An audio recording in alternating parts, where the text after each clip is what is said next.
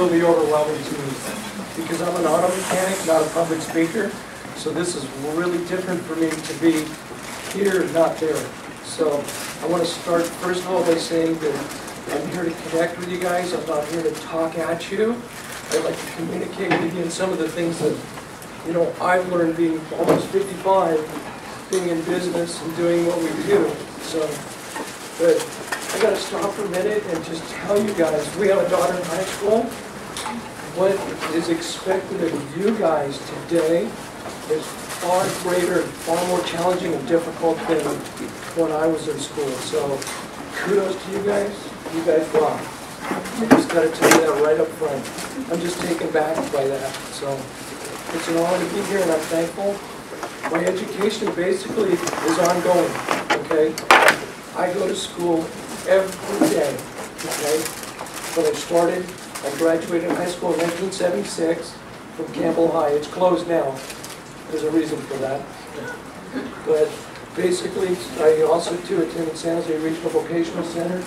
It's still ongoing. It's a great place. What they do is they teach you all the different trades. If you want to be an auto mechanic, body work, plumbing, electrical, they have all those different trades that they teach.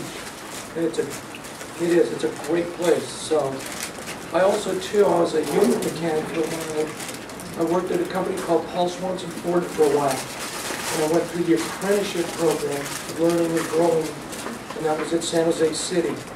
And then you follow that up by, and I'm still doing it today, you go to night classes, okay? Say like Borg Warner puts on a class for EGR valves and emissions. Um, Ford puts on a diesel um, class, so you do this. You do all of those different classes because the automotive industry, as you know, is ongoing. So, and you never stop learning in this industry. It's endless, the things that you can learn. So, um, if, I had one thing to do different when I was in school, it would be to do it better. Okay? What I wish I would have done was learn more, grow more, and just become a better student. Okay? I'm dyslexic, so reading, writing, and doing those basic things are challenging to me. So, truthfully, school was so not my gig. Mm-hmm. Okay? All I wanted to do is I wanted to blow out of high school, be done with it, and get to work. Okay? So I sold myself short in a lot of in a lot of areas in education. So I challenge you guys each and every day do your best. Okay? Learn, grow, move, do things. Always, always keep an open mind. Okay? Never close your thoughts to, to new things or different things. Okay? Sorry, I got sick a few months ago. I lost my voice and it never came back. So uh, my voice is, is cracking. Um, I got to use notes too because my memory's not that good. So, from my work history, I started at a Chevron station a block down the street from where I ended up buying a auto repair. So I started there in 1975, a long time ago. But it's been good. It really has. And then what we did is I grew that with my wife and and some people. We grew that into two other Chevron stations, and then we grew it into our auto repair business.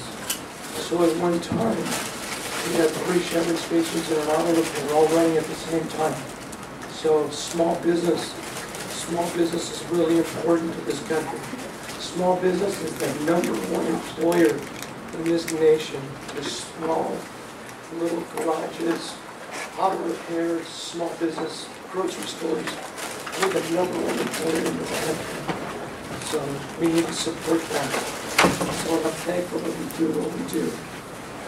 So the best decision that I ever made though was when I closed the Chevron stations and opened the garage. It became, life became so much more focused, so much more simple. And it's really done a great job providing for my family.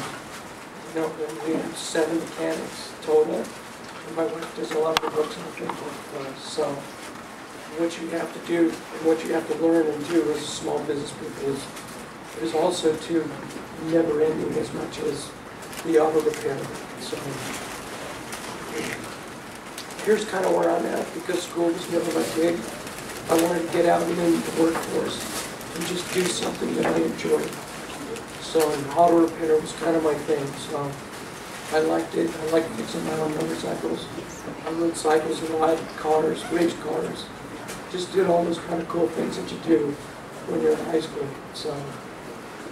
Um, My typical work day, there's never two days that are the same, which is what I really like about being self-employed small business. What, what I'm gonna start with in the morning, maybe what I finish before I go home in the evening. Because of the fact that you never know, you never know what each day holds. So what happens is, is you've got to write service, you've got to answer phones. Pardon me for a second. You know, when you have a staff of seven people, you've got to be guiding, directing, you've got to know kind of where everybody's doing, what everybody's doing. So you've got to really pay attention to what's happening on each and every job happening through the day. So, you know, you've got to be able to order parts. Parts, the way we order parts now, the industry has changed so much that we now order parts online. Back when it started, we used to make a phone call. Hey, I need spark plugs, capabilities for Ford. You don't do it that way anymore. You go to, a- we go to a keyboard, and it's connected to a warehouse. And then what they do is they drop that, and they bring it to you. So that's pretty cool. But most of all, I've learned how to be flexible. You have to be flexible being small business and doing what you do. So Here's a situation too. It's about passion. Enjoy what you do, okay? You're gonna do it a long time, so find something that you like to do and enjoy it, okay? That's what auto repair's done for me and my family. The industry itself, as you know, being an auto teacher, you can't keep up with it. It's forever changing, very rapidly, very fast. You guys who are in the auto tech program, you're seeing just small snippets of what's actually happening, okay? It's, actually, it's amazing. The introduction of electronics, okay, has so changed the automobile industry. I don't know if you guys know it, but there's more, there's more computers on cars today than the first lunar landing to the moon. So it's amazing to think that we're driving around and stuff, that you could have landed on the moon. So it's, it is, it's, it's mind-boggling to me. The introduction of the, of the, uh, just all the electronics. Ride control is now electronically controlled. The anti-lock brake systems are controlled now by computers, which is kind of, it's unique when the anti-lock brake systems first came out on cars. People were actually hitting what they wanted to avoid. Because when you put your foot on the brake, because goes into anti-lock, what would happen is the pedal would make noise and it would vibrate under your feet.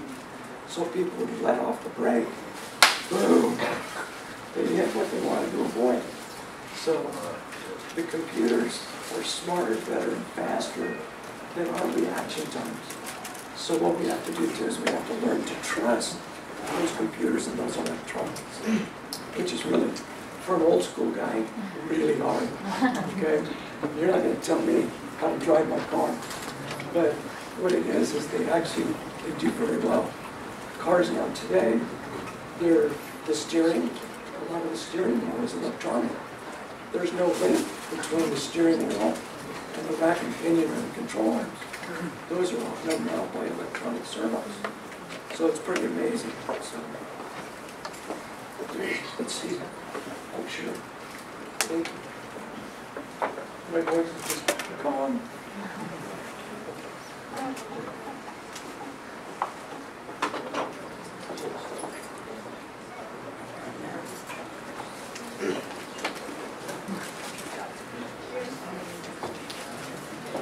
Are there any questions so far? We got a minute?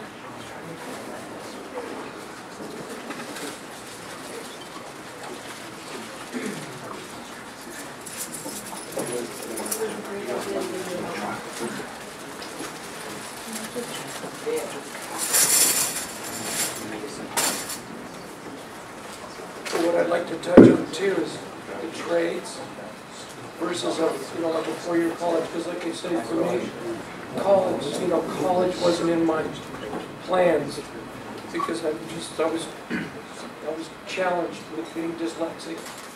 The, just the basics were very difficult me to work my way through. So I kind of knew that college wasn't my thing. So I really enjoyed just going out and being in the workforce. okay? Yes, oh yeah, that works. Now I can yell at you. You know, but basically, I knew that, school wasn't my gig, college wasn't gonna be for me. I had to do night classes, smaller classes, and, and do things like that, so. The trades are actually a great way to make a living, because they do, they supply you with a great life. The pay is good, there's a lot of benefits for the trades. You get to work with your hands, and like we do in the automotive industry, we work with our mind as well as our hands, so we have the best of both worlds to do that. You get stimulated mentally as well as physically. And it's great when you can take something that's broken and fix it and put that back out on the road. The, the biggest thing that I really enjoy too is the fact that I get to work with a lot of different people. We have seven technicians, like I say in my life, but it's all the different customers, you know. I've never had so many bosses in my life, is because each customer that comes through, that we service their vehicles and take care of them, they're our boss until I get their car done, fixed, repaired. So it's kind of cool to look at it that way. And being in the industry as long as I have, I'm now, I fix grandma's car, the son's car, and now I'm fixing grandchildren's cars. So I've had the opportunity to watch all of these families grow up and service all of their different vehicles. You know, and then learn about them personally. Go to their weddings, you know, and it's great. I love it because what you've got to be, people skills, and people are where it's at. This world goes around because of people. You know, you're the next generation. You know, I have to tell you that I look into your eyes and I look out here, and I'm thankful for you guys because of the fact that you're going to be taking care of me. So I'm thankful for your education. I'm thankful for your hard work. You know. Um, basically, what I have are a few life thoughts as well. Okay, like, does anybody know why you're here? Why are you in school? To do what? To learn. To learn. That's Learn, right. right? That's right.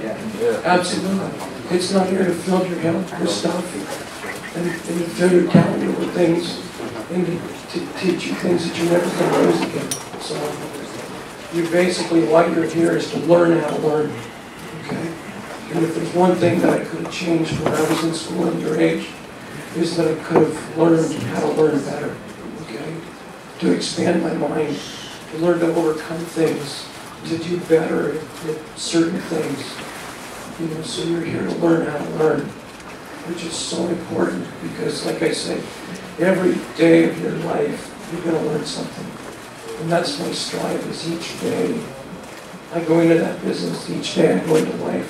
What am I going to learn today? What things are going to open up for me? What changes am I going to make in my life that are going to be better? And that's basically, you live your life that way, okay? So learn how to learn, if I can encourage that. Um, If you're going to go to college, college today is very challenging. The reason it's challenging is you not only have, when I was in school, you had a very small geographical area going to college. Now these colleges are nationwide, if not international. So you're competing for a spot in international areas to go to school, to learn what you're going to do. So the job market is so much more competitive today simply because of the fact that it's international. The world has become so much smaller. So, um, bless you. Okay? I live a philosophy as well. My dad taught me this. Never go to work a day in your life. Okay? And what that means is find something that you like to do, enjoy it, have a passion for it. When you have a passion for doing something, you'll do it very well. Does anybody know the difference between good and excellent? It's about that much. Okay, that's all it is. So, does anybody know the difference between a job and a career? I'll show you. This is a job. Okay, this is a career. It's a big difference because it's how you perceive, it's how you perceive yourself. So you never strive for a job, strive for a career. One thing I can tell you too is never strive for perfection because nobody's perfect. Strive for excellence. Do your very best each and every day. Um, there's kind of another thing that my dad told me. He says, do what you like to do and then figure out how to get paid for it. Okay? So whatever your passion is, follow it, chase it, work hard. Okay? Because now the opportunities, okay, you young people now have to create your own opportunities. You guys have to work hard. You gotta get, you gotta dig deep to figure out what's gonna, what you're gonna do, what you wanna do. Because things are just so much more challenging today. That's why I say I really appreciate you guys. We have a daughter in school, and I mean, it's, it's amazing. The things that she does today, we never did. We never thought of it. So, well done to you guys. And then also too, choose your rep wisely. The reason I say choose your rep wisely, you're gonna be in it a long time. Okay? I've been fixing cars almost 40 years. So I'm happy to be in that rut. And it's worked very well for me and my family. So I thank you for the opportunity to speak to you guys and to be with you. It was truly an honor. Okay? Is there any questions? Yes? How did you go about studying your own business? Like what obstacles do you have to overcome uh, to create a business? You know, the desire to do it overcomes all things. And what you have to do is uh, another life thing that I say when you don't know what to do, do what's in front of you, and, and it'll connect the dots. But basically, what you have to do when you want to start a business, get a concept, and then go to businesses that are like what you want to think about doing, and just go one through see how it works, and then find out how to do it. You know, and then you can do it. So, any other questions? What's the biggest challenge you have now compared to when you first started your company, to, you know, as far as starting a company or keep your company going? Um, that's a great question, you know, because, well, I'll be honest with you, I really never think of it because I, with the passion, you know, with the passion that I have to do it, I just go do it. But finance is probably one of the biggest, is one of the biggest challenges that we have today, is finding a balance of, of doing work, billing it correctly, doing it correctly so that, that the numbers all work. So the technology today, in some cases, makes it very much easy to work on cars. In some, it makes it even more challenging. Because a lot of the things now that we have to do, the dealerships are the only ones that have the information to do it. So, you know, like it's kind of interesting. We buy a, you know, like the key fobs, you guys open the cars, and the doors open. Okay, well, a lot of those, you have to go to the dealer to buy the program there to be able to do that. So when that battery goes dead in that fob, sometimes you can't just change the battery. You have to change the battery and then take it down to the dealer and have it flash. So a lot of, some of the frustration is the inability to do some of those simple things. Because back when I started, you did it all. I mean, when a starter failed, you rebuilt it. You know, now you can't rebuild it, you you throw it away and start over. So that's a big challenge, you know, is, is the mindset of sometimes it's disposable, and sometimes you're locked out of some of these cars. So, does that, okay. Because there is, there's, there's a lot of challenges.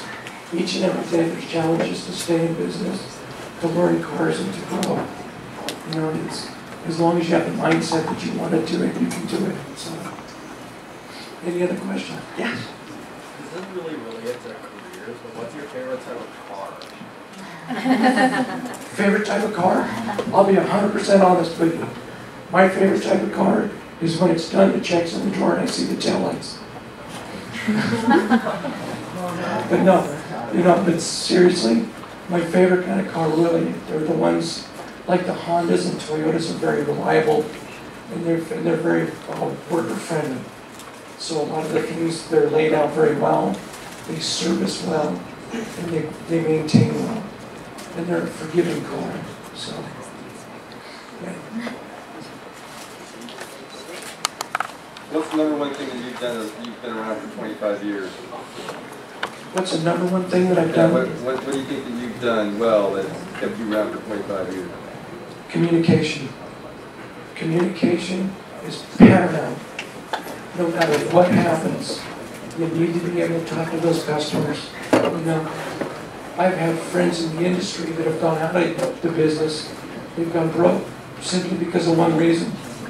They spend an hour working on the wrong end of the car. The reason they're working on the wrong end of the car is that they don't know how to obtain the proper information from their customers. You're looking at a brake squeak. Well, ask your customers at the front of the back. Mm-hmm. You need to know what car, what end of the car you're gonna work on. Communication. When you're talking money with people, number one, be accurate. Number two, be truthful. And number three, communicate. You know, the biggest thing for staying in business and staying alive today is communication, plain and simple. You know, people, people are where it's at. People are the lifeblood. People are success. And people are really, they're great. You know, what I mean, what, I can't say enough about just being with people. You know, you gotta love people and enjoy them. And as much challenge as they are, you've gotta enjoy them as well. The communication is the number one thing. Okay? And I'm not gonna bash texting, okay? And I'm not gonna bash emails, okay? But when I have something important to say to you, I wanna look in your eyes. I wanna hear your voice. Because that tells me whether I'm connected with you or not. So it's important. Communication is everything. Okay?